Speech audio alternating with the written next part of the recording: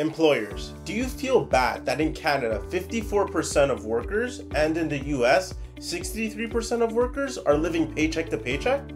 If you do, there's something you can do to change that right now. In this video, I will show you exactly how you can help your employees not live paycheck to paycheck and how you can boost your bottom line at the same time.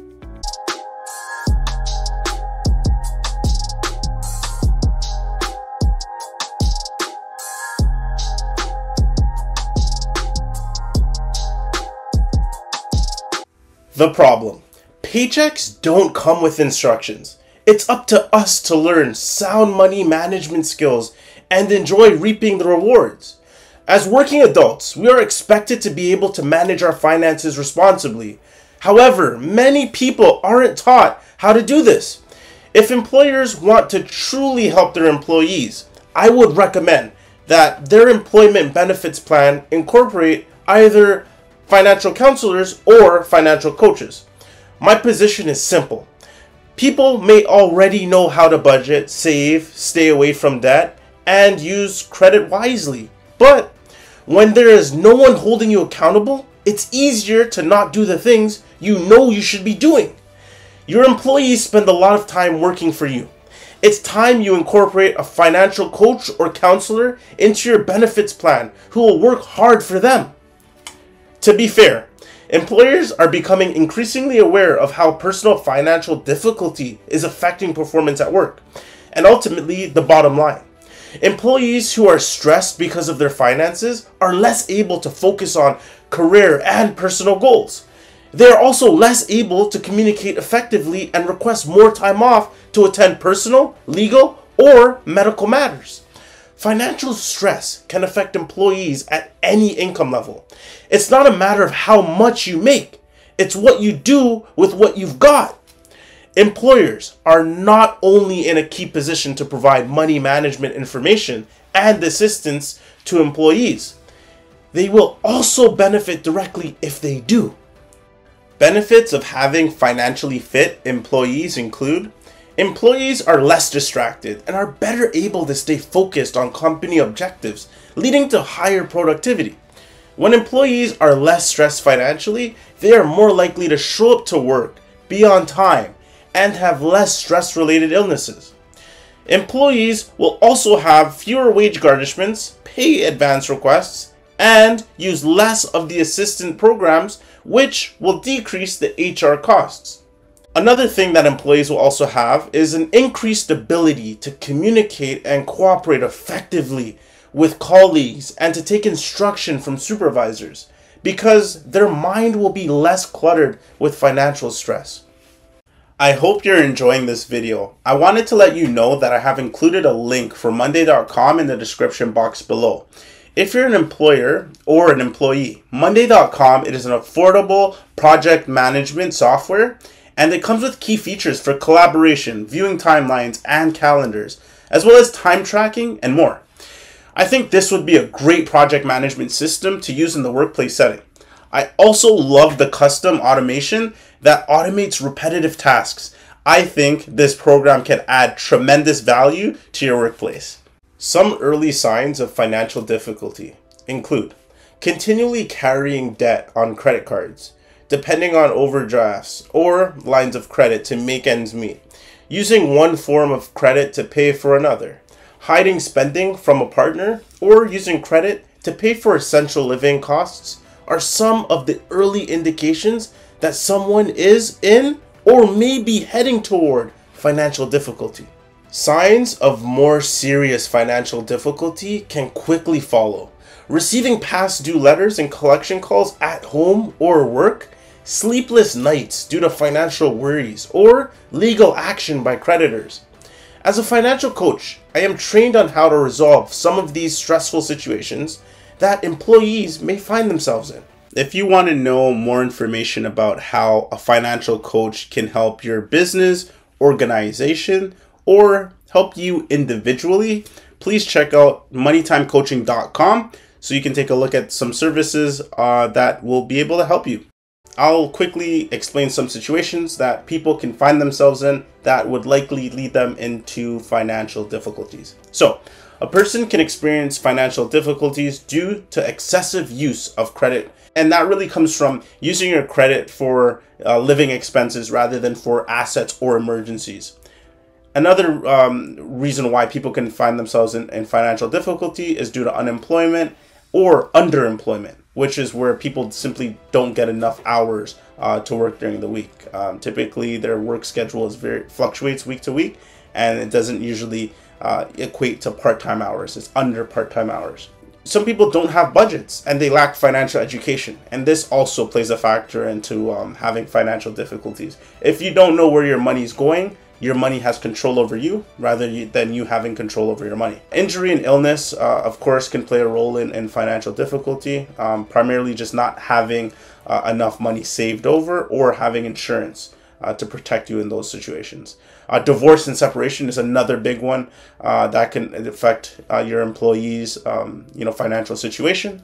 High student loan debt. Uh, I think this is becoming more and more common as uh, you know people graduate university or college.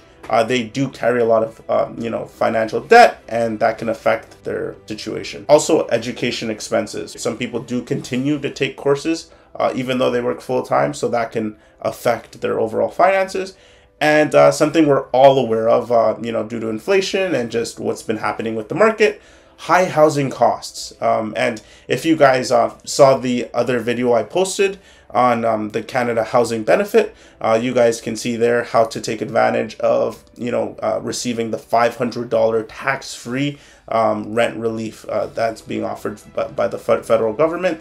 Um, so um, check that out. If you notice some of these financial indications, of difficulty in the workplace, financial coaching and counseling can be vital to improving the lives of your employees and the bottom line because workers will be more productive at work opposed to stressed.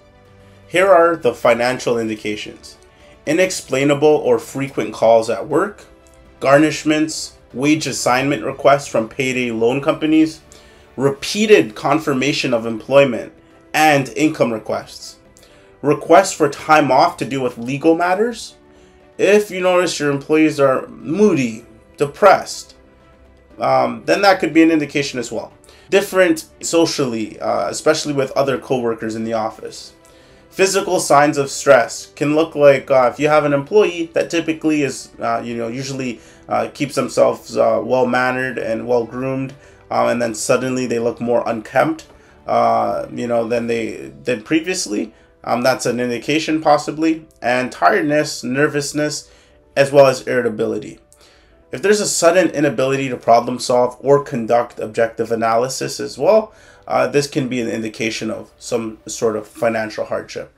Have resources available to help your employees. Know which reputable sources of assistance are available that you can refer your employees. You want to refer employees to financial coaches or counselors that are AFC certified because this is the highest standard in the industry. Know that your employees have rights as well as responsibilities around debt collection. Upsetting calls at work are unnecessary. A financial coach can provide solid solutions to ensure these types of calls do not continue. Support an employee's effort to live within their means, on a budget, and without credit. Does your workplace have ongoing fundraising campaigns? Is eating out the norm? Are your dress code expectations in line with salaries? Get creative with solutions to these situations. For example, is your lunchroom a friendly place to eat? Again, here is where a financial coach can help create a financially healthy and safe workplace. Coming to an employer is usually a last resort. Most people who experience financial difficulty will have already exhausted any conventional options available to them. If an employee comes to you, try to be as flexible as possible and try to accommodate their request for assistance. For example, if they need to change their payroll account on short notice, um, that's something you may want to accommodate. They may need to do this to avoid an offset or to deal with legal matters. And look, having a financial coach as an employee benefit reduces the chances of this happening. What employees can learn to do to help themselves. Manage personal finances by setting up and following a personal budget. Use credit cards not for everyday expenses, but for more opportunities like upgrading a course or buying an asset.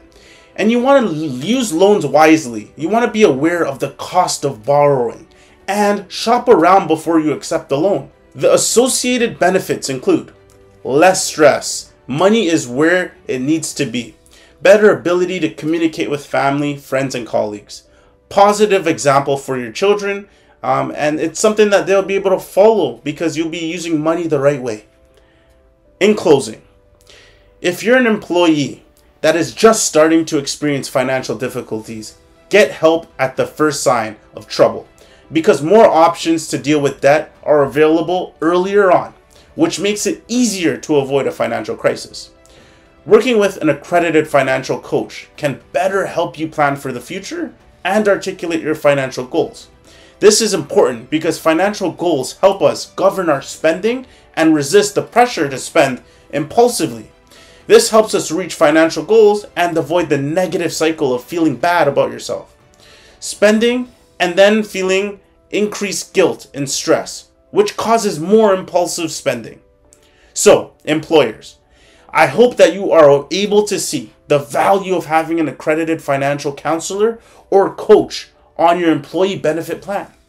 The benefit to you would be an increased bottom line due to more productivity from workers but at the same time, you provide your employees with the resource they need to help them break free of living paycheck to paycheck. Thanks for watching the video. Don't forget to like and subscribe and hit that notification bell so you don't miss any of this helpful content going forward. Also, I would like to know if you're an employer um, your thoughts on this video. Like, are you excited about the possibility of leveraging a financial coach to help you, um, you know, help your employees not live paycheck to paycheck, as well as improve your bottom line? And uh, employees, are you guys happy about this new possibility of having a financial coach uh, help you improve your finances? Let me know what you guys think in the comment section below. Thanks, and I'll see you in my next one. Bye. Subscribe now.